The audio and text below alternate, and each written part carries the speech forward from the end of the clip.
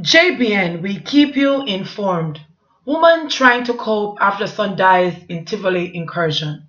Please remember to like, subscribe, share, leave us a comment and click the notification bell to receive our daily news items.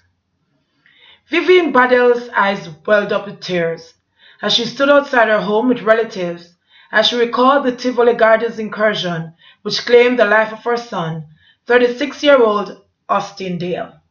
Dale, was disabled and used a wheelchair to get around, was staying with his grandmother on Bond Street during the unrest. The security force then beat him out of Bond Street during the incursion and flew him out of his wheelchair. He's a next soldier give me daughter the money if he came to hospital. But he never live a week. During that time, I have to borrow money to try saving life and bury him. Right now, them same loan that me appear, she said, crying. The security forces invaded West Kingston in May 2010 to serve a warrant on the Tivoli Garden strongman Christopher Dudus Coke. The violence from the incursion large, which largely took place between May 24 and 25, 2010, claimed the lives of at least 73 civilians. At least 35 persons were also injured during the unrest.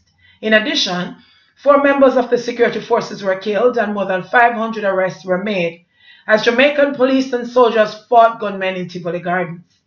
In 2017, the West Kingston Incursion Commission Compensation Committee, chaired by retired Justice Seymour Panton, suggested that cash awards totaling $134 million should have been made to the estates of men killed by the security forces during the incursion. Badel said she's yet to receive a penny. We write down my name more than one time to get compensation. But every time me hear say it not come up on the list. I'm sure I report the incident to the public defender many times. I true people don't even know. All people who wasn't here during the incursion, I see them get money left me. Me never eat when my son dead because me have to use the little money bury him. Because me couldn't dash him like a doll, she said. When him fi bury, the police they never want him passing the casket come down here.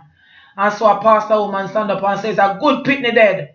Make him mother go bury her son. Sometimes I remember it may feel like me I go mad, but it's true God a keep me. Money can't bring him back, but it's a lot me I go through when me lose my son. Me little boy get a death we never deserve, Badel said. Although the incursion took place several years ago, the tragic incident is still fresh in her mind. Badel said that as gunmen and members of the security forces traded bullets that morning, she sat outside because it somewhat felt safer However, she said her motherly instincts kicked in and she knew something was wrong with one of her children. It's like me didn't know so something wrong, you know. During the encouragement, me feel heavy me sit down and cry. And see some little pitney and run come and say, Miss Shirley, Miss Shirley, Austin dead, you know. And me say me know cause me feel it. And me just bust out a ball.